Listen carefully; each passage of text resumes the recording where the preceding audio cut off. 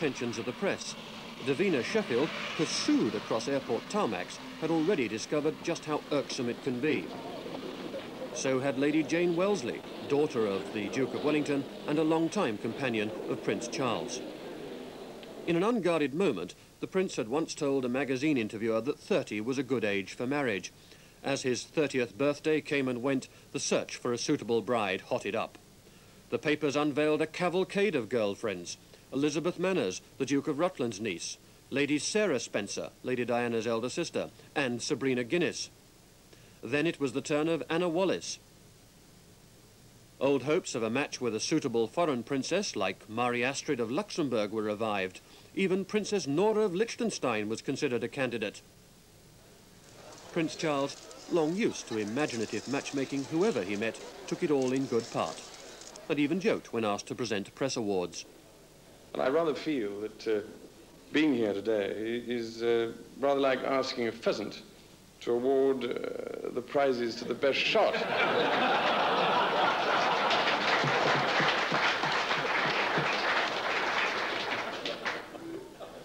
and speaking,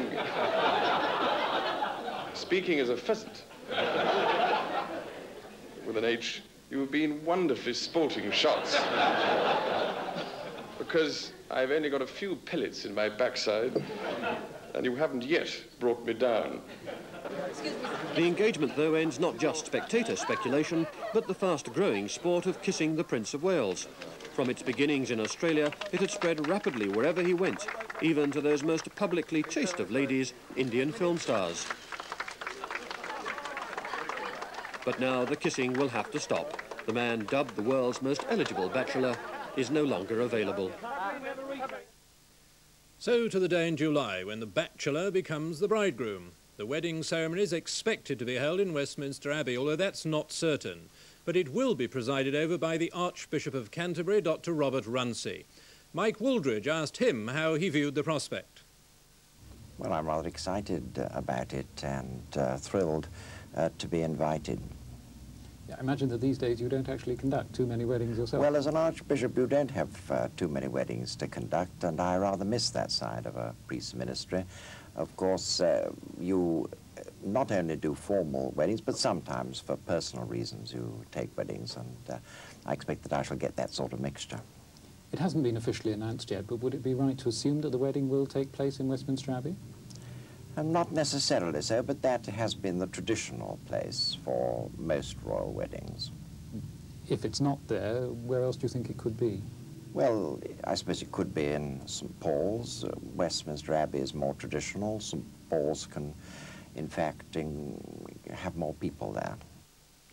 Well, wherever and whenever, it is going to be a grand occasion, the marriage of the heir to the throne. That's inevitable. Protocol and tradition dictate that it should be so. Just as they dictate that along with the informal pictures today in the palace grounds and that delightfully frank and honest interview, there should be the formal pictures for the history books. They were taken by Lord Snowdon. They show a young lady as attractive and charming in the photographer's studio as she is in the flesh a young lady who won the heart of a prince, the teenager who will one day be queen. Now to the rest of the day's news. And we begin with the attempted coup in Spain. It ended this morning after nearly 18 hours when the right-wing colonel who'd been leading the rebellion put down his gun and surrendered. His supporters, those who were still with him at the end, surrendered as well, and the 350 MPs who'd been held hostage in the Spanish parliament were allowed to leave. Our reporter Christopher Morris was in the Parliament, the Cortes, when the attempted coup began, and he saw it end.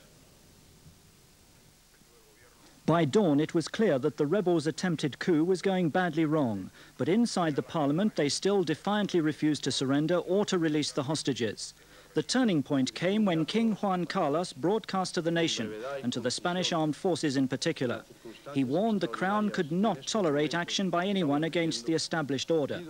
Military chiefs immediately responded to the King's demands for unity, and at the Cortes, their negotiations with the rebels were reaching the most crucial stage. The breakthrough finally came when a dozen of the rebels decided to give themselves up and shortly afterwards the others, realizing the hopelessness of their position, agreed to hand over their weapons and to surrender.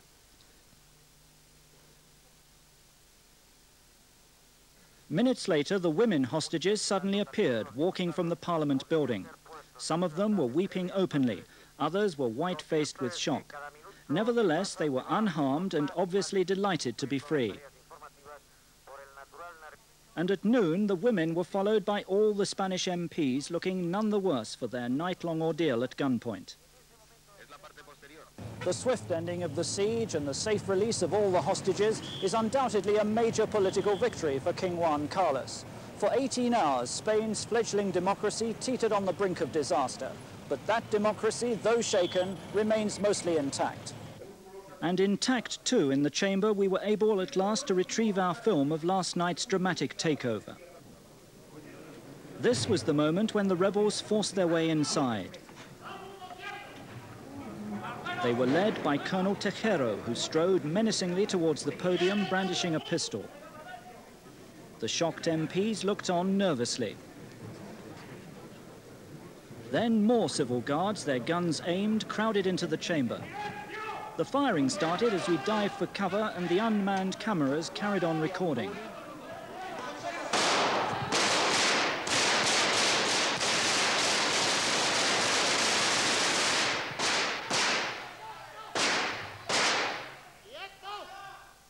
Clearly, the shooting was designed to frighten, not to kill. Nevertheless, some MPs were slightly hurt by falling masonry as bullets ricocheted from the ceiling. And an ugly scene developed when Senor Gutierrez Mullado, the vice president, was grabbed as he tried to intervene. The former prime minister, Senor Suarez, came to his rescue. Then a strange silence returned to the chamber. But the MP's ordeal was not yet over. The next 18 hours will forever remain the most frightening of their lives, the most critical hours for Spain since the civil war over 40 years ago. Christopher Morris, BBC, Madrid. And since Tejero's arrest, the authorities in Madrid have detained 18 army officers and taken a top commander in for questioning. Andrew Pike, the British businessman held in jail in Iran, is to be put on trial on charges of espionage and embezzlement. The Iranian prosecutor general said Mr. Pike, arrested last August at Tehran airport, will face an Islamic Revolutionary Tribunal. The three other detained Britons, missionary Jean Waddell and doctors John and Audrey Coleman, are now expected to leave Iran tomorrow morning.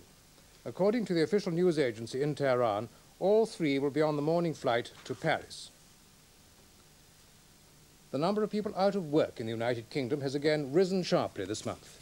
Now, more than one in ten of the working population are out of a job. The unemployment figures for February now stand at 2,463,294, an increase of nearly 44,000 on January. Our industrial correspondent says that although the increase is lower than in recent months, unemployment is expected to go on rising for some time. The problem of replacing old jobs with new ones is facing many areas, such as Corby in Northamptonshire, already hit by steel closures, as Ian Ross reports. They've started pulling down the steelworks. When British Steel ended iron and steel making at Corby last year, 5,500 were made redundant. Other closures in the town added 1,700, pushing male unemployment to one in four. New jobs don't roll off the assembly line like the plastic bottles made by this half-Dutch, half-Swedish firm. The automated manufacturing process means work for only 30 now, but more later. A Yorkshire company making rubber suspension systems sees its labour force increasing further and faster to between 160 and 200. The construction of a large warehouse and distribution centre for the Oxford University Press is well advanced and will provide work for 180 over a period of time. And with a company making snack foods will come a further 260 jobs. These are just some of Corby's new firms. Dozen advanced factories are ready for occupation, and there are takers for all of them. Corby's status as a development area, a steel closure area, and an enterprise zone translates into a mix of government grants and incentives which many a new or mobile business must find attractive. So what's the total of promised new jobs so far? by the end of 1983, I would say that uh, probably there'll be 2,000 more jobs in Corby. Don't you really need to get one big employer? Well, one big employer brings its own problems, but we were very pleased, of course, to welcome someone who would employ a substantial number of people into Corby. Uh, the other way, of course, would be to get a, a number of medium-sized employers, perhaps five or six hundred people in each, who would uh, diversify the industrial base in the town. At Corby and other places, British Steel shed 50,000 jobs last year. So the Industry Secretary, Sir Keith Joseph, reminded the House of Commons this afternoon when he gave the government's delayed reply to BSC's corporate plan and cash requirements. Delayed because of the rising clamour among Tory backbenchers about the huge sums going to subsidise the state steel industry and the effect this is having on the unsubsidised private steelmakers. And they are huge sums, as Sir Keith acknowledged, with no guarantee of survival, he pointed out. This Conservative government will have supported BSC to the tune of £1,121 million in the financial year ending next month, and the corporation will get the full £730 million it has asked for for the 12 months from April. More than one and three quarter thousand million pounds of taxpayers' money in two years. Furthermore, BSC's balance sheet will be reconstructed. £3,000 million of capital will be written off and 509 million of debts extinguished. This will be effected in legislation which would also allow for the virtual close down of BSC. Yeah, to see whether it can be made viable, and if it can't be made viable, then by legislation we've introduced today, we shall have power to virtually to close down British Steel. That's not necessarily by closing the whole thing, but by selling or other dis way disposing or closing down.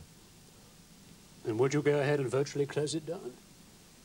It won't be primarily the government that decides. It will be for the board of BSC and Mr. MacGregor, the chairman, under the legislation which Labour carried through to nationalise British Steel, the power to close or to dismiss was given entirely to the management. Within six to 12 months, Sir Keith would expect about 15 to 25% of BSC's business to be taken out of the public sector through the creation of more private companies joining the overlapping interests of BSC and private steelmakers, and BSC has been told also to compete fairly with the unsubsidised private sector. There is nothing so unfair, says Keith, as a nationalised loss-making business. The executive of the second biggest union in the water industry, the National Union of Public Employees, has told its 10,000 members they can take industrial action if there's no improvement in the employer's 10% pay offer. Tomorrow, leaders of all four unions in the industry will be meeting in London to consider their next step. They're expected to give notice of a national strike if there's no increase in the offer. But some water workers in Lancashire wouldn't wait for the national decision. In Manchester and Rochdale, they've come out unofficially. The Polish Prime Minister, Stanisław Kania, has told the Communist Party Congress in Moscow that his country can solve its own problems. He was apparently asking his allies for more time for Poland to get itself straight. And yesterday's proposal by President Brezhnev for a summit meeting with President Reagan has been welcomed by the White House. The President said he found the idea most interesting, and he'll discuss it with Mrs. Thatcher when she visits Washington later this week.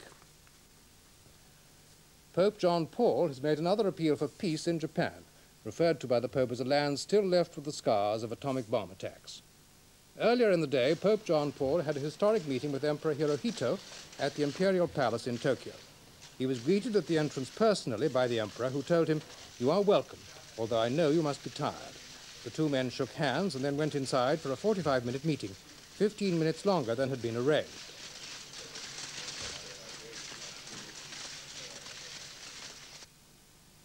The Pope has called on Japan to share its wealth with the poorer nations of Asia, and he appealed to Christians and non Christians alike in the country to protect human rights. Now, football. And Leicester City, third from the bottom of the First Division, say the former Dutch World Cup player Johan Cruyff could soon be joining them. It's hoped the deal will be completed in time for him to play in Saturday's home match against Nottingham Forest. Cruyff, who's 33, will receive around £5,000 a game. And now tonight's results. In Division 1, Arsenal 2, Manchester City nil. Brighton 2, Southampton nil. In Division 2, Bolton 2, Oldham nil. Division 4, Scunthorpe 1, Port Vale 1. And in the Scottish League Division 1, the Falkirk and Motherwell game was postponed. The Scottish League Division 2, Stenhousemuir nil, Albion 3. And finally, tonight's international, Republic of Ireland 1, Wales 2. That's the latest score. And so once more to the main story of the day at home, the engagement of Prince Charles and Lady Diana Spencer. They'll marry in late July, but exactly when and where is still to be decided.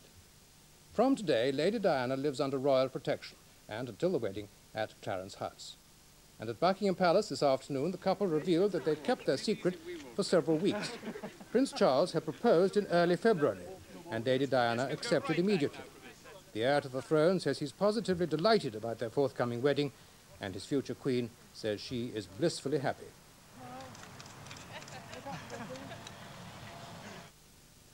And we add our congratulations to the many thousands that have been pouring in all day. Good night.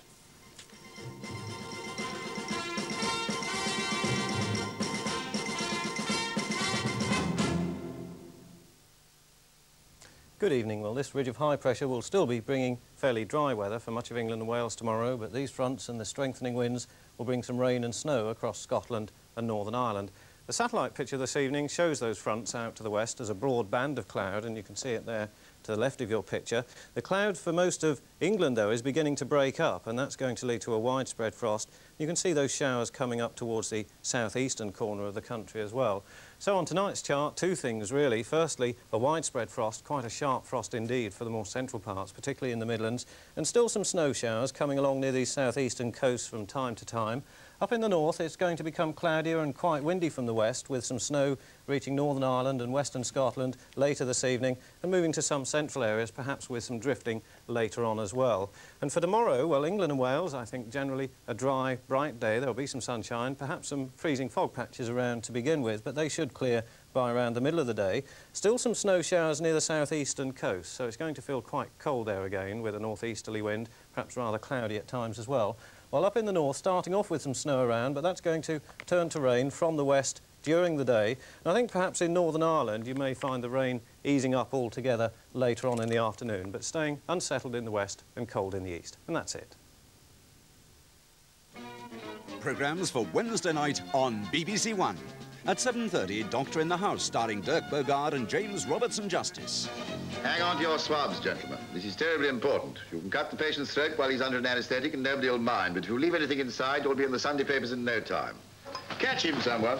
After the news, Sports Night at 9.25 features highlights of Charlie Magri's defence of his European flyweight title. And from Stoneleigh, a unique relay competition. Lionel and Pam Dunning are just one of the husband and wife teams competing for the Lankham Trophy. At 10.15, Open Secret looks at a question of control. In the cockpits of the world's airlines, the use of computers is increasing. Peter Williams investigates the delicate balance between man and machine. And finally, at 10.45, Michael Parkinson's guests are Julian Pettifer, AJP Taylor, Rose Murphy and Kim Novak. Programmes tomorrow night on BBC One. Because of the extended edition of the news, the rest of tonight's programmes are now later than published, with Omnibus in Dallas starting at 5 to 11. Now, on BBC One, The Union by Tony Perrin, a dramatised impression of the events surrounding an infamous ballot rigging case which went to the High Court 20 years ago. It's the play for today.